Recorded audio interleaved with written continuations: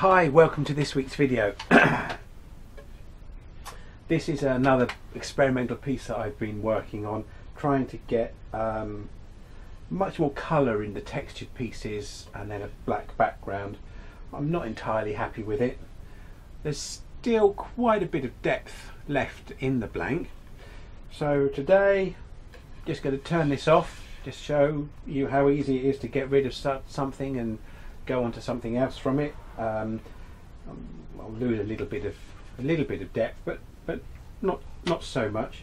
Probably I'm going to reshape the middle piece as well. Um, I think I'm going to go for another one that I colour entirely uh, today, and uh, hopefully the results will be pleasing, satisfying, and and better than this. Anyway, hope you enjoy the video.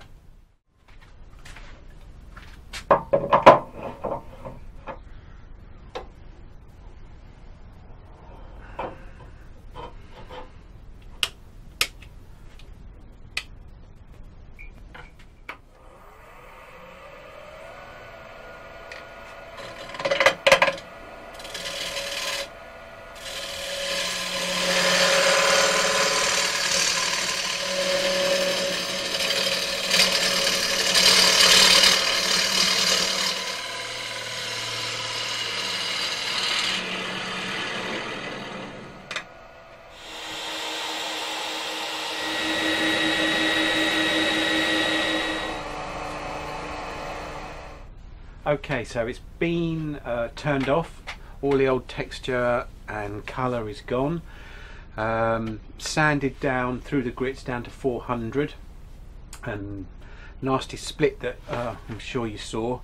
Um, bit of branch probably growing through, but um, I filled that, sealed it with CA glue, and the chestnut stains that I use say to put them on un untreated wood and I think that's fine if you're wanting the colour to soak through.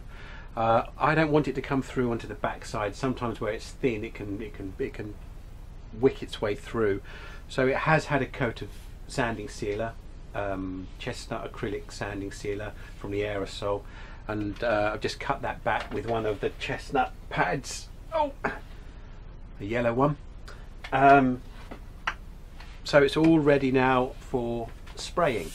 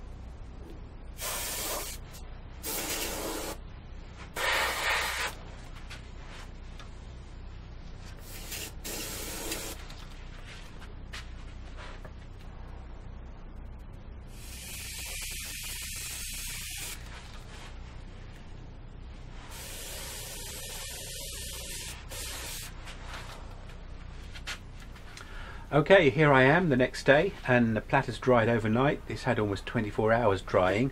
Um, and what I need to do now is to just seal the colour. And I've put some chestnut acrylic sanding sealer over the top. It seems to help, as I think I said yesterday, seems to help with the with the final coat of lacquer going on over the top.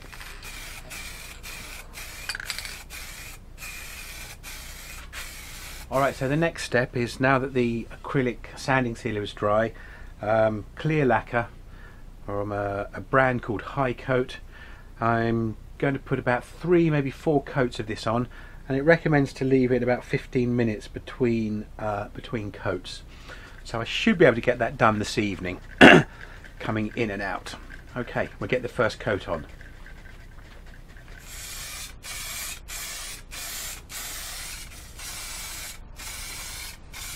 Uh, coming on for the third coat of the lacquer now being disciplined and not well, trying not to overspray and getting runs. So far, so good.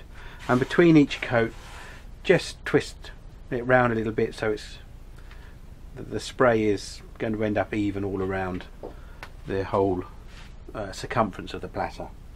Mask back on and lots of shaking.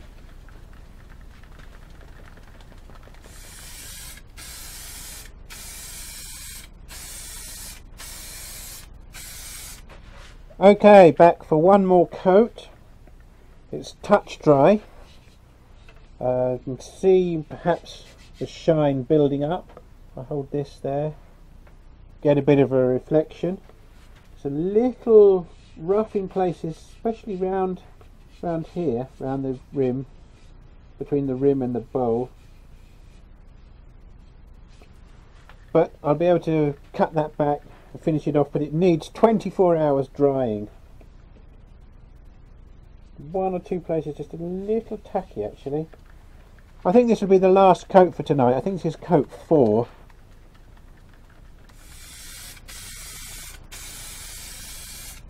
okay. Resist the temptation to do another pass. Okay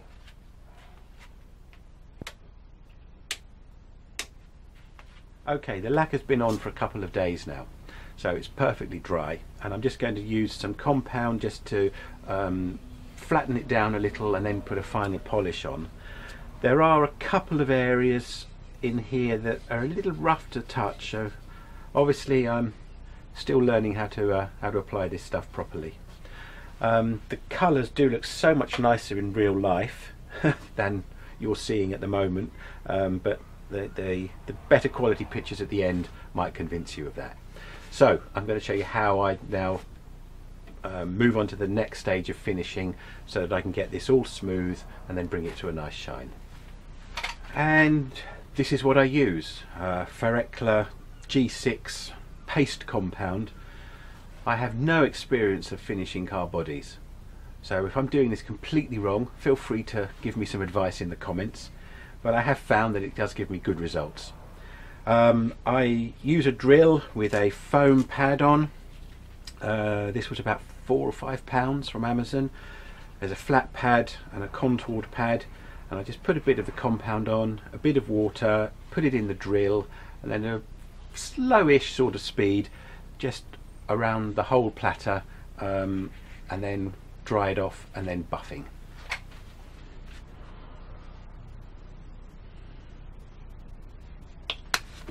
Just start off with a bit on the pad.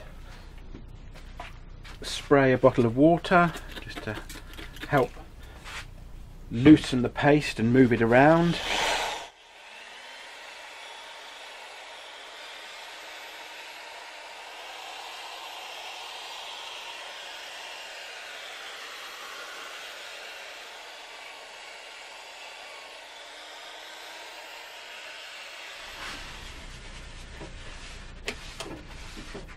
Now just wiping that off with a slightly damp kitchen roll.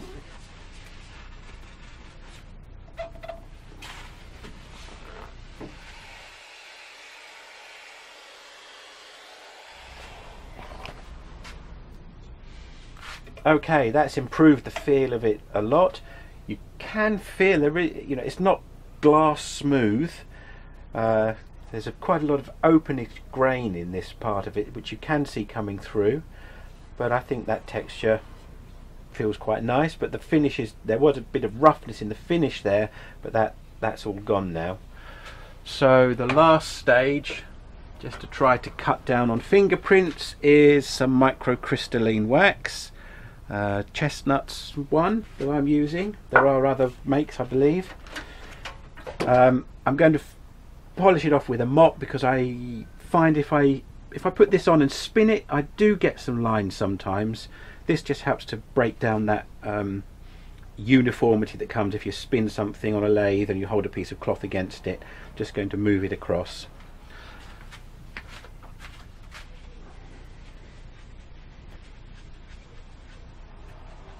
Very thin coat of wax is all that's needed. Just wiping it on with a piece of kitchen roll making sure covering the whole bowl. And I'm going to leave that a few minutes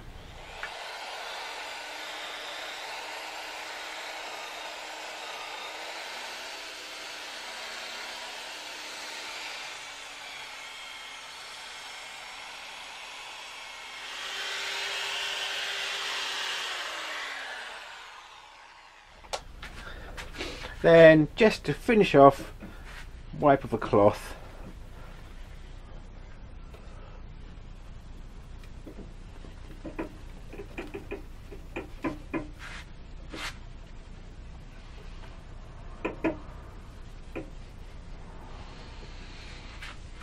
Then it's hand finished, isn't it? Hmm. There we go. Okay, let's get it out of the chuck.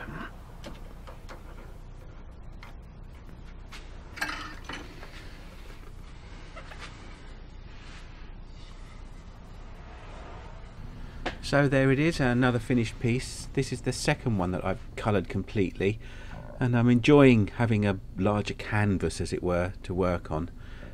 It's quite difficult to photograph it with so much gloss on it but I hope these close-ups give you some idea of the finished texture in the paint and the pattern on the wood and uh, fun project.